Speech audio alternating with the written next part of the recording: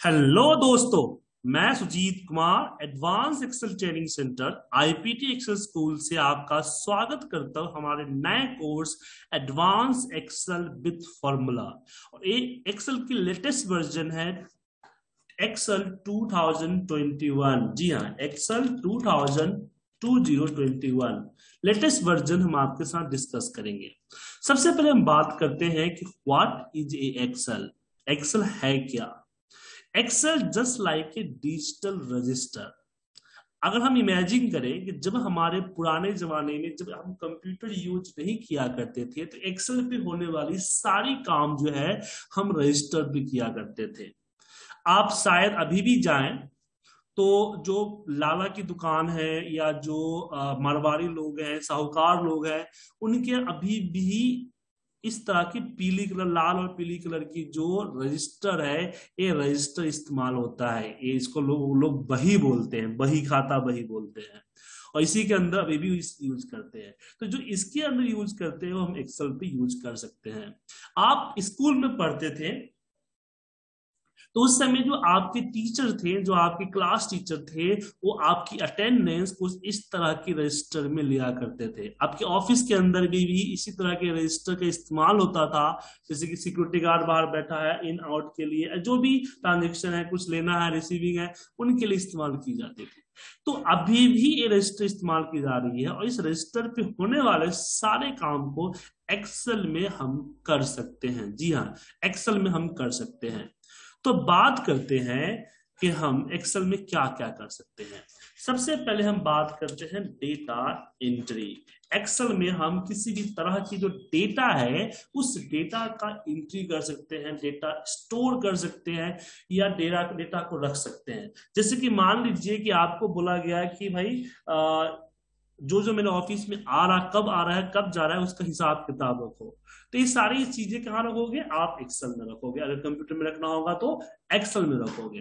क्योंकि एक्सेल बना, बनाया एक प्लेटफॉर्म है जिसको यूज़ कर सकते हो। बाकी सॉफ्टवेयर का आपको डाउनलोड करना पड़ेगा परचेज करना पड़ेगा। उस सॉफ्टवेयर के अंदर फिर फीचर्स बनवाने पड़ेंगे, लेकिन इसमें ऐसा नहीं है। लेकिन अगर डेटा स्टोर कर रहे हैं तो एक चीज़ का ध्यान रखे कि Excel is not a database जी हाँ। डेटाबेस के बहुत सारे नियमों का पालन नहीं करता है और डेटाबेस के लिए एम एस एक्सेस का यूज़ किया जाता है। लेकिन फिर डेटाबेस नहीं तो क्यों नहीं है डेटाबेस? जैसे कि इसके अंदर अगर आप पासवर्ड लगा देते हो तो पासवर्ड को इजिली ब्रेक किया जा सकता है। या पासवर्ड लगा के अगर आप भूल जाते हैं तो माइक्रोसॉफ्ट यहाँ क्लियर करता है, देखिए, यहाँ पे क्लियर बोल रहा है कि if you lost and forget the password, it cannot be recovered. तो आप पासवर्ड भूल गए तो आपका रिकवर ही नहीं होगा डेटा आपको ओपन ही नहीं होगा। पासवर्ड को इजिली ब्रेक किया जा सकता है। आपकी एक्सेल फ़ाइल करप्ट हो सकती है, जब बड़ा होगा तो बड़ी फ़ाइल होगी तो या किसी ने आपकी फ़ाइल सिस्टम एक्सेस किया तो आपकी फ़ाइल को इजिली डिलीट किया जा सकता है। तो इसको हम डेटाबेस नहीं मान सकते हैं। तो डेटाबेस जो होगा, ये डेटाबेस नहीं बना सकते तो क्या, किस तरह का डेटा स्टोर करेंगे? तो हम स्टोर करेंगे SME miscellaneous and analytics data analytics data को स्टोर करेंगे। ऐसे ही मतलब कि शॉर्ट मीडियम इंटरप्राइज ऐसे लोग जो कि एक्सेल का यूज़ करते हैं क्योंकि उनके पास बहुत ही स्मॉल बहुत ही स्मॉल या बहुत ही छोटा डेटा है, मान लीजिए। उनके पास डेटा का डेटा का जो अमाउंट है, वो आठ हज़ार, दस हज़ार से हम जैसे लोग हैं, हमारे पास मुश्किल से मतलब कि डेढ़ दो सौ स्टूडेंट महीने में आते हैं। तो इन सबों का जो डेटा है, हम एक्सेल पर रख सकते हैं मेंटेन कर सकते हैं। क्योंकि हम बड़े सॉफ्टवेयर को अफोर्ड नहीं कर सकते, उसका मेंटेनेंस और उसकी लिए एक ऑपरेटर को हायर नहीं कर सकते, इसलिए हम एसएमई का यूज़ करते हैं। मिसलेनियस मिसलेनियस ऐसे छोटे मोटे रिकॉर्ड अब मान लीजिए कि आप टैली इस्तेमाल करते हैं अपने अकाउंटिंग के लिए, लेकिन फिर भी आज जो पेटी कैश है, जो ऑफ़िस के छोटे मोटे खर्चे हैं, उसका रिकॉर्ड हमेशा आप एक्सेल पे ही रखेंगे। रीजन क्योंकि आप दो रुपए की फ़ोटो स्टिक कराए हैं या तीन रुपए की चाय किसी को पिलाया है ऑफ़िस के खर्चे पे तो क्या लग रहा है उसकी आप टैली में लेजर क्रिएट करेंगे? नहीं ना? क्योंकि टैली में लेजर जब क्रिएट होगा तो दिक्कत हो जाएगी। तो ऐसे मिसलेनियस डेटा को हम यूज़ करते हैं। अब बात करते हैं एनालिटिक्स डेटा जैसे कि आपकी सेल्स की सेल्स के लिए आपका जो पास सैप या सैप फीको या सेल्स फोर्स जैसे बड़े बड़े सॉफ्टवेयर हैं। लेकिन जब उसको एनालिसिस करना होगा तो उसकी डेटा को एक्सेल पर रखना होगा ना? जैसे मान लीजिए कि आपको मंथ वाइज टोटल सेल दिखाना है। तो पूरे साल का डेटा एक्सेल पे डाउनलोड करके रखेंगे, तभी उसके ऊपर पिवट टेबल या किसी और तरीके या फॉर्मूले से हम सिमलाइज करेंगे उसको और रिपोर्ट तैयार करेंगे। तो रिपोर्ट जब बनेगी तो बैकेंड में हमें उसकी डेटा तो चाहिए ही चाहिए। इसलिए एनालिटिक्स या रिपोर्ट डेटा हम कह सकते हैं कि हम रिपोर्ट डेटा को स्टोर करते हैं। तो यहाँ पे एक चीज़ मैंने क्लियर किया कि एक्सेल के अंदर में डेटा एंट्री या डेटा स्टोर कर सकते हैं बट डेटाबेस नहीं बना सकते। इसमें हम एसएमई मिसलेनियस और एनालिटिक्स या रिपोर्ट डेटा को स्टोर करते हैं, पहले चीज़। अब इसका जो दूसरा यूज़ है पहला यूज़ बताया मैंने, अब इसका जो दूसरा यूज़ है, वो दूसरा यूज़ है कैलकुलेशन कैलकुलेशन मतलब कि हिसाब किताब जोड़ घटाव गुना भाग देखिए कैलकुलेशन के लिए अभी तक जो मैंने यूज़ किए हैं सॉफ्टवेयर उसमें से सबसे बेस्ट सॉफ्टवेयर है आपका एक्सेल क्योंकि आप एक्सेस की बात करें, पावर वी की बात करें ऑरिकल की बात करें, और भी टैबलू की बात करें तो उसके अंदर जो कैलकुलेशन होती है, वो एक कॉलम टू अनोदर कॉलम होती है। एक कॉलम को दूसरे कॉलम से वो मल्टीप्लाई गुना भाग दूसरी कर सकते हैं, बट यहाँ पे हम एक सेल कर, सेल टू सेल कर सकते हैं। जैसे कि मेरे पास क्वार्टर वन है और यहाँ पे क्वार्टर टू है। तो क्वार्टर वन में हमारे पास 50 सेल है, क्वार्टर टू में मेरे पास 60 सेल है। इसका ग्रोथ क्या होगा? इसका ग्रोथ क्या होगा? अब इसकी ग्रोथ के लिए हम क्या करेंगे कि मैथमेटिकल फॉर्मूला जो होता है, अब एक्सेल में यहाँ फॉर्मूला बार में बहुत सारे फॉर्मूले हो सकते हैं।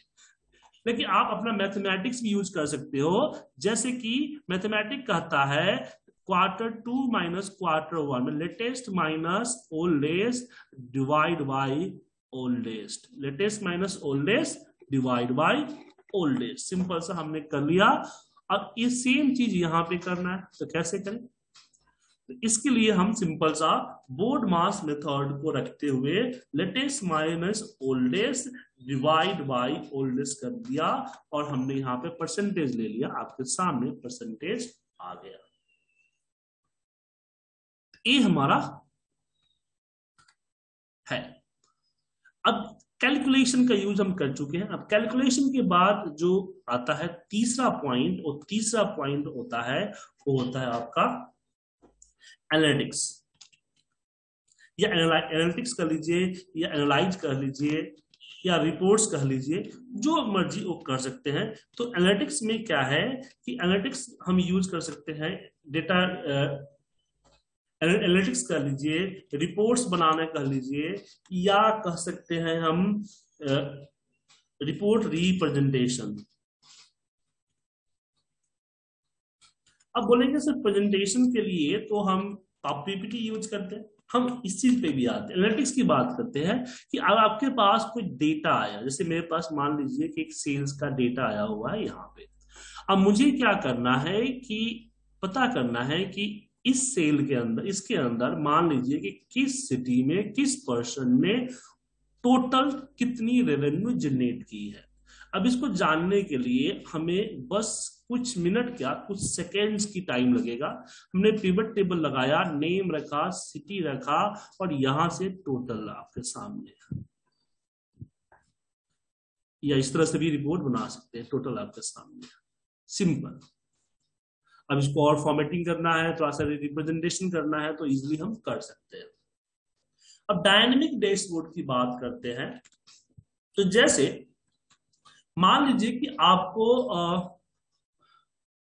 बारह महीने की रिपोर्ट बनानी है। मंथली आपको जो है अपना सेल्स कंपेयर रिपोर्ट बनाना है, कि आपको कंपेयर करना है two two and three different different की केपीआई के थ्रू तो आपको क्या है कि अगर पीपीटी की बात करें तो हर मंथ में, हर महीने आपको क्या करना होगा?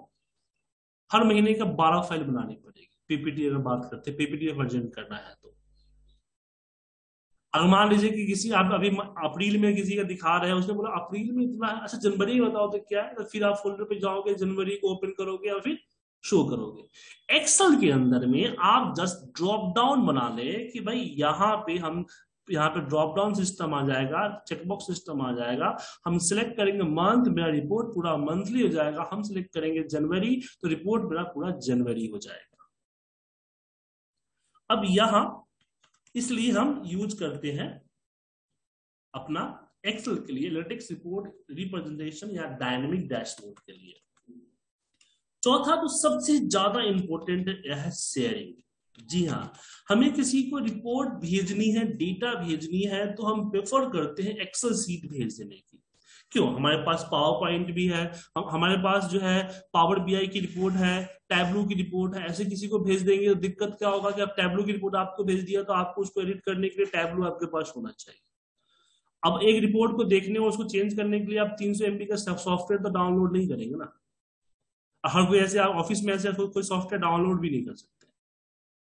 तो कहने का मतलब है कि जब रिपोर्ट आपका जो एक्सेल फ़ाइल है, आपके, मुझे पता है आपके सिस्टम में एक्सेल तो होगा ही होगा। एक्सेल नहीं होगा सेम से नहीं होगा, जो एक्सेल फ़ाइल को भी ओपन कर देता है। अगर कुछ भी नहीं हुआ तो आप क्या करेंगे?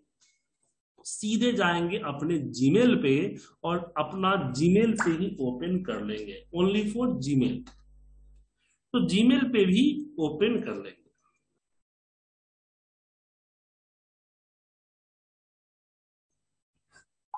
यहीं पे अपनी रिपोर्ट को देख सकते हैं। सिंपली इसलिए एक्सेल परफेक्ट है। Data data storage calculation data analytics and reports representation और डेटा शेयरिंग आपको कैलकुलेशन आप मान लीजिए कोई डेटा स्टोर करना है तो एक्सेल का यूज़ कर लीजिए। किसी भी तरह का डेटा स्टोर करना है।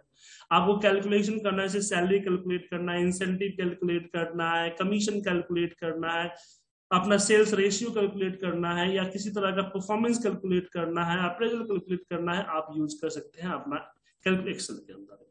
कोई रिपोर्ट रिप्रेजेंट करनी है, कोई एनालिटिक्स को दिखाना है, भेजना है तो आप एक्सेल इस्तेमाल करते हैं। और किसी भी तरह की चीज़ों को डेटा या रिपोर्ट्स या किस तरह के कैलकुलेशन को भेजने के लिए आप शेयरिंग के लिए भी एक्सेल का इस्तेमाल कर सकते हैं। अब बात करेंगे कि आखिर एक्सेल हमें मिलेगा कहाँ से? तो देखिए मोस्टली के पास तो एक्सेल है, फिर भी आप चाहते हैं एक्सेल को परचेज करना तो वो आपको माइक्रोसॉफ्ट देगा। तो आपको सर्च करना है ऑफ़िस 365 ऑफ़िस 365 मंथली बेसिस पे आपको मिलता है, या फिर आप यहाँ पे ऑफ़िस 2021 जो लेटेस्ट वर्जन है, वो भी सर्च करेंगे तो आप ले सकते हैं यहाँ पे ऑफ़िस ट्वेंटी ट्वेंटी फाइव तो लेकिन लेकिन क्या ऑफ़िस 365 जो है, वही आपका भी जो बेटर चल रहा है। इसमें 21 में बहुत सारे नए फीचर्स आए हैं, बहुत सारे नई चीज़ें आई हैं, बहुत सारी नई फॉर्मुलेज आई हैं, जो कि हम आपके साथ डिस्कस करेंगे इस कोर्स के अंदर में। अगर आप माइक्रोसॉफ्ट ऑफ़िस लेना चाहते हैं तो आप ऑफ़िस 365 को परचेज कर सकते हैं। इसका मंथली 400 या 500 सिस्टम छह हज़ार रुपये ईयरली इसका लगता है। इसमें आपको वन टीवी का जो है ये मिल जाता है। जी हाँ वन टीबी का जो है आपको मिल जाता है। इसमें आउटलुक वन ड्राइव सब मिल जाएगा।